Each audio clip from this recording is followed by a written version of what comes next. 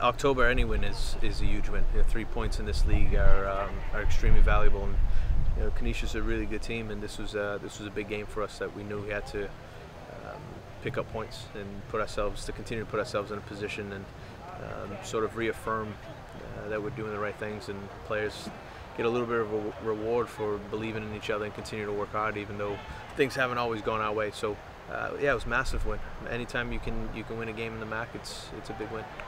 Massive, it's massive. Um, obviously, after the, the last results, we, we, said we said no more. We need to push on from here. It's a big game. They're a good team. They've just come off a big win as well against Niagara. It was important for us to uh, put in a good performance and, and get the three points, and I think we've done that today. Not only did we get the three, I thought we played very well. Off the Rider game, that was a completely just a high press game for 90 minutes there on us. So we wanted to just work better with a high press offense, and uh, we I think we were able to keep the ball today. Same thing we've been doing since the beginning of the season. We're creating chances, just not putting it away. And sometimes that's how the game goes. You have your ups and your downs, but you know if we keep working, we're gonna keep scoring and winning games.